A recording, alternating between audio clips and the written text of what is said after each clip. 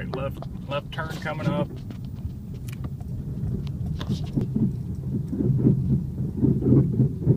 That's real bad. Oh. Yeah, it, if I'm lucky, it's just this. It's definitely making noise with the struts.